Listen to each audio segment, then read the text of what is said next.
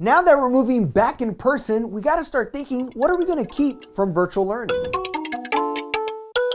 Welcome to This Week in Education. I'm your host, EJ Carrion. Every week, we highlight innovative trends, educators, and districts that are building future forward schools.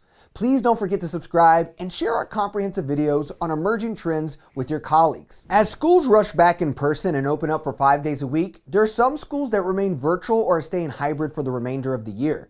Just last week, the U.S. Department of Education granted its first widespread waiver from testing requirements to the District of Columbia due to a large share of students learning remotely and concerns about safely administering exams. District of Columbia officials told the federal agency that 88% of students were learning remotely as of March 20th. Michigan has become an epicenter of regional surge, but unlike earlier waves of the virus, the patients who are being admitted are largely young adults who are not prioritized for the vaccine, making young people more susceptible to the virus and unable to get back to in person school. On Friday, Governor Gretchen Whitmer called for Michigan schools to stop in person teaching and sports for two weeks, but stopped short from ordering them to do so. According to the Return to Learn tracker, R2L, as of March 29th, 58% of students are still virtual or hybrid learning. Many districts who are unable to rush back in person due to positivity rates in their communities are also feeling like they have found a groove with hybrid and believe they can end the year strong by bringing important in person opportunities back safely, such as prom, graduation, and summer learning opportunities. My guest this week is Dr. Ann Levett, Superintendent at Savannah Chatham County Public School System, which supports 38,000 learners in the state of Georgia. Her students just got back from spring break and will remain the rest of the year in hybrid format. The students will get an in-person prom, a graduation that meets the CDC guidelines, while having a comprehensive list of opportunities for the summer. These are opportunities that were not available last year to the 2020 class. Well, I'm Ann Levett. I'm superintendent of Savannah Chatham County Public Schools in beautiful Savannah, Georgia. We have finally been able to, to return to hybrid learning. So we have about a third of our students, which is a little over 12,000, who are participating in hybrid learning. They're in class um, three days a week and then on virtual two days. And then it rotates. We have two cohorts, cohort A, cohort B, and they will be in three days in person, two days um, virtual on rotating basis. And we plan to be in that mode until the end of the school year, which for us ends May 21st. Like many of our guests and topics, we often discuss what the school experience looks like after a year of virtual learning. What do we do with all the devices and hotspots? What do we do for students who actually thrive during this moment?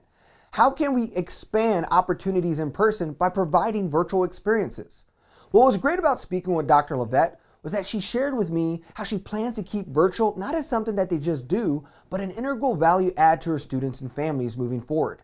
COVID made them accelerate their plans, but the experience from last year gave her and her team the confidence to embrace virtual as a permanent opportunity. One of the things that we have learned and that my staff is looking into um, is if I have a kid who wants to take Russian 4 or Latin 5 and I don't have a teacher on hand, where can I find another teacher in another part of the state or another part of the country that can teach that course? That is that is my way of ensuring that my kids have a full my students have a full experience though i may not have the staff right here so it could be that that course is taught across town at another high school. Mm. How can I how can I ensure that my students have the very best experience? I have the technology, I have the connections. So I don't have to be a permanent student or a student at the permanent virtual school, but in my school, I can still have that virtual experience by connecting with others who are providing that content. Virtual learning will not just be available for students who choose to attend an academy, it will be fully integrated into Savannah Chatham County Public School students' learning experiences. Students will be able to keep devices and receive sustainable Wi-Fi from hotspot programs done by the district this year. The school distributed over 25,000 devices, purchased online instructional software, and rolled out Wi-Fi on wheels in Savannah and Chatham County for online learning experiences. These changes and digital tools are something that expands learning past the school day. I can't make it without my devices. I mean, my devices yeah. are fully integrated into my work. And for our students, while this was a great way for them to learn through the pandemic, it's also a part of their toolbox. So they will be using their devices in school, but they will also have access to their devices at home. We were very fortunate to be a part of the T-Mobile um, 10 million project.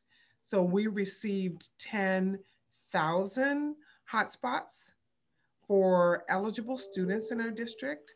And many of them have taken advantage of that, of those hotspots.